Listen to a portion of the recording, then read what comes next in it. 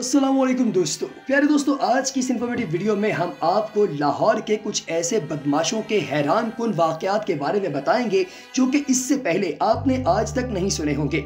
इस वीडियो में हम आपको इन बदमाशों की ज़िंदगी की तफसीलात नहीं बताने वाले, बल्कि इन तमाम बदमाशों की ज़िंदगी का एक एक वाक्य आपको बताएँगे और उसके साथ ही हम आपसे चाहेंगे इजाज़त। लिहाजा इस वीडियो को आखिर तक ज़रूर देखिएगा। वर्ड द फैक्ट के तमाम दोस्तों को दिल के था गहराइयों से खुश आमदेद। अगर आपने अभी तक हमारे चैनल को सब्सक्राइब नहीं किया तो चैनल को सब्सक्राइब कीजिए बेल आइकन पर क्लिक कीजिए और कमेंट सेक्शन में अपनी कीमती राय का इजहार ज़रूर कीजिएगा।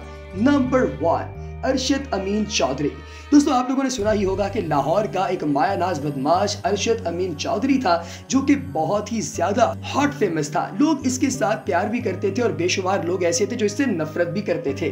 दोस्तों, अरशद अमीन चौधरी की ज़िंदगी का एक वाक्य है कि एक दफ़ा ये एक सुनसान रोड पर गाड़ी में जा रहा था और इसके साथ इसके दो गनमैन भी मौजूद थे। कहा जाता है कि रास्ते के अंदर इसकी गाड़ी को इनके दुश्मनों ने रोक लिया और गाड़ी को रोकने के लिए उन्होंने चारों टायर्स पर फायर किए। दोस्तों, कहा यह जाता है कि अरशद उद्दीन चौधरी का जो गनमैन था, उसके साथ इसे इतनी मोहब्बत थी और ये जानता था कि मुहाफिज की इज़्ज़त किस तरह से करते हैं, कि अपने मुहाफिज को बचाने के लिए जब एक गोली किसी दुश्मन ने चलाई तो ये अपने मुहाफिज के सामने खड़ा हो गया और वो गोली इसने अपनी पीठ पर खाई।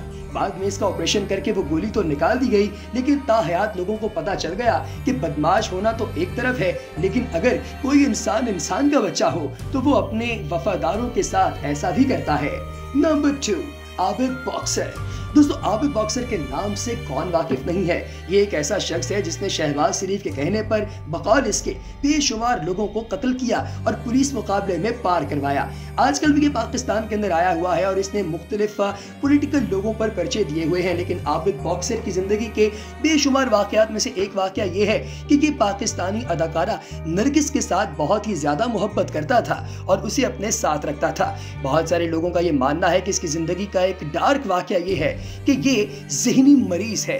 कहा जाता है कि जहनी मरीज़ लोग जब बहुत ज़्यादा किसी से प्यार करते हैं तो उसे अजियत पहुंचाना शुरू कर देते हैं। ऐसा ही इसने नरगिस के साथ भी किया। जब इसे महसूस हुआ कि नरगिस शायद पैसे लेकर लोगों के साथ रातें गुजार रही है और लोगों के साथ मुख्तलिफ़ पार्टीज़ में जाकर मामला कर रही है तो इसने नरगिस को उसके घर से बाहर निकाल कर एन सड़क के बीच में बिठाया और उसकी भवे, यानी कि उसकी आईब्रो से लेकर उसके बालों तक सारे बालों को उसके जिस्म से एक रेजर की मदद से अलहदा कर दिया, यानी कि उसकी टिंड कर दी।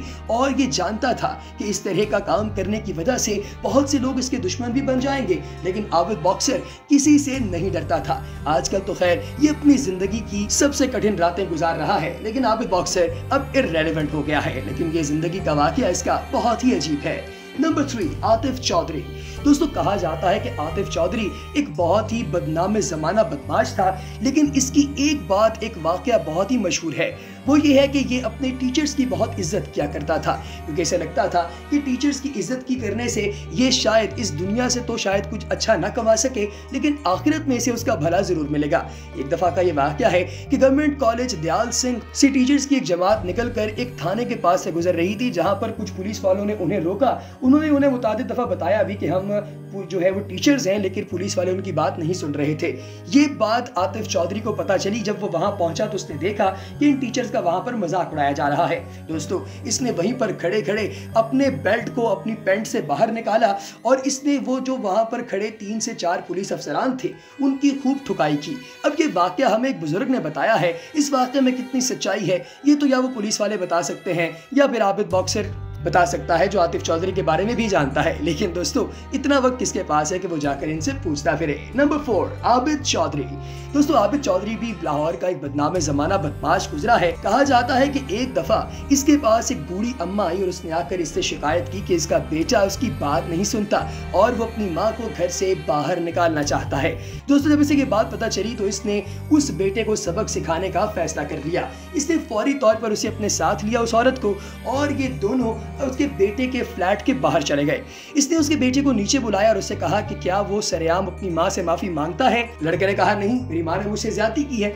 तो इस पर आबिद चौधरी ने कहा कि चाहे ये तेरे साथ जितनी मर्ज़ी ज्यादती करे, तू इसके साथ कुछ नहीं कर सकता।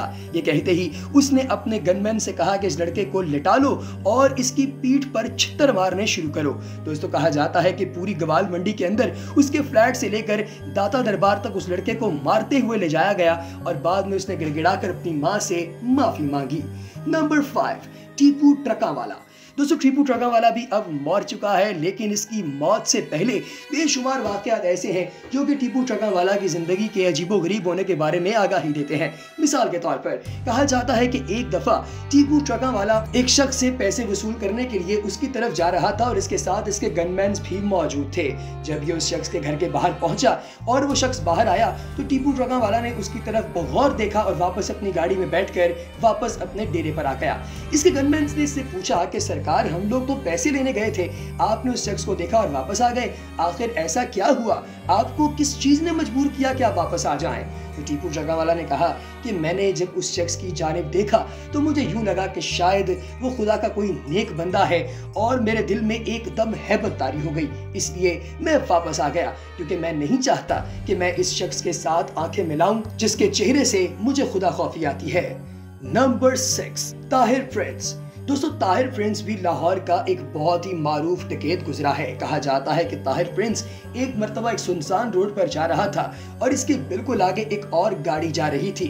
ताहिर प्रिंस को लगा कि शायद ये गाड़ी उसका पीछा कर रही है। लिहाजा इसने फौरी तौर पर उस गाड़ी के आगे अपनी गाड़ी लगाई और नीचे उतर कर उस बंदे को बाहर निकाला जो गाड़ी में मौजूद था। वो अकेला शख्स था और दिखने में भी बड़ा नफीस लग रहा था। ताहिर प्रिंस ने उससे पूछा कि वो कौन है और किसने उसे ताहिर प्रिंस के पीछे भेजा है। शख्स ने आगे से कहा कि, सरकार, मैं एक आम शहरी हूँ और मैं अपने घर जा रहा हूँ। मुझे किसी ने आपकी तरफ़ नहीं भेजा।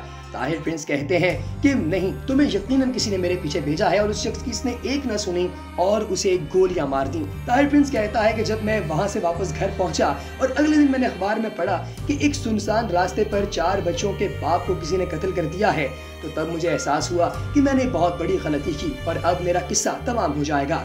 और फिर यूँ ही हुआ, ताहिर प्रिंस को 2002 में पुलिस ने एक इनकाउंटर के अंदर हलाक कर दिया। Number seven Shahid Mev. दोस्तों, शाहिद में भी लाहौर का बड़ा मायानाज बदमाश गुजरा है। इसका एक वाक्य बयान किया जाता है कि ये रोज़ाना सुबह के वक्त जागता और फिर उसके बाद अपने पास एक लूडो का दाना रखता और उस लूडो के दाने को ज़मीन पर उछाल देता और उस लूडो के दाने के ऊपर जितने पॉइंट्स आते, यानी एक से लेकर छह के दरमियान, ये जाकर उतने कत्ल कर देता था। लेकिन दोस्तों, इसने जितने लोगों को आज तक कत्ल किया, हम लोगों तक सिर्फ़ उसकी एक फ़ीसद इन्फॉर्मेशन पहुँची है। बाकी निन्यानवे फ़ीसद लोग आखिर गए कहा, ये तो कोई नहीं जानता। नंबर एट रियाज गुजर।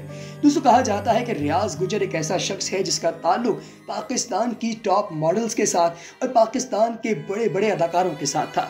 इसकी ज़िंदगी का एक वाक्य कुछ ऐसा है कि एक मॉडल जो कि इस वक्त पाकिस्तान में बहुत ही ज़्यादा इन है, वो अपनी माँ के साथ एक छोटे से घर के अंदर रहा करती थी, जब रियाज गुजर उनके इलाके में वसूली करने आया। इसे वो औरत इतनी पसंद आई कि ये उसे अपने साथ अपने घर ले आया, उसे वहीं पर रखा, उसके साथ मामला भी करता रहा।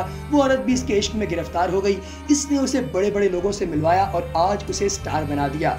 रियाज गुजर रहे ना रहे, उस औरत का नाम ता हयात ज़िंदा रहेगा। तो दोस्तों, आपको हमारी आज की वीडियो कैसी लगी कमेंट सेक्शन में ज़रूर बताइएगा और ये जो वाक्यात हमने आपके साथ शेयर किए हैं, ये सब वाक्यात हमें मुख्तलिफ़ सोर्सेज से पता चले। अब इनकी सच्चाई या इनके झूठ के मुतालिक तो वो लोग ही बता सकते हैं। लेकिन हमारा फ़र्ज़ था ये आपके साथ शेयर किया जाए। अगली वीडियो तक दीजिए इजाज़त, अल्लाह हाफ़